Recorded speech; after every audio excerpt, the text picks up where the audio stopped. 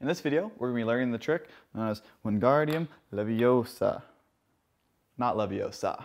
So, to start this trick, you're going to hold the tama and you're actually going to have your pinky in the hole of the tama like so. And this gives that illusion that the lighthouse is balancing by itself.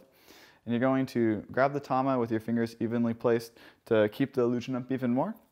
And when you're balancing the lighthouse on this one, you want to make sure that the base cup is closer to the hole of the tama because when you're relaxing your pinky, that's actually the balancing point for the ball.